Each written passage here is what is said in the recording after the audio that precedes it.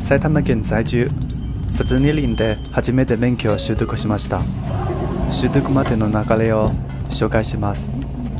鴻巣東口から出てバス乗り場の3番線。免許センターまでは1.6キロ。徒歩の場合は20分くらいで着きます。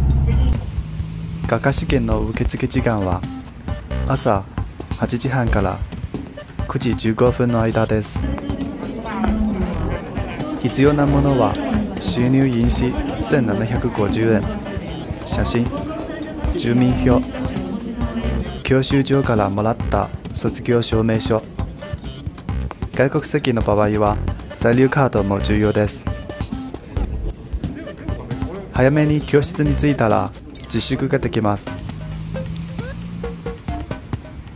9時40分頃試験に関する説明があります。10時頃に試験開始です。制限時間は50分。早めに終われば途中退出ができます。11時30分頃1階受付の待合ホールで合格者の受験番号が発表されます。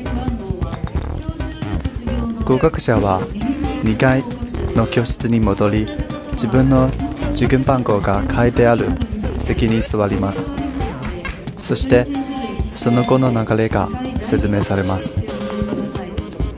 残念ながら不合格の場合はすぐに帰宅するが点数を知りたい場合は15時まで待ち。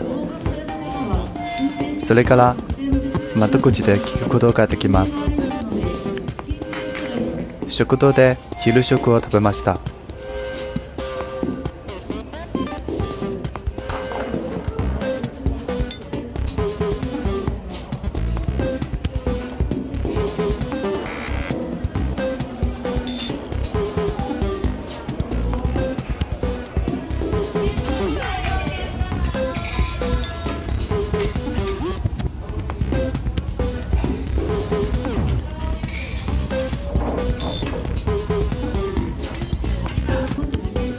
12時50分頃免許証作成に関する説明があります。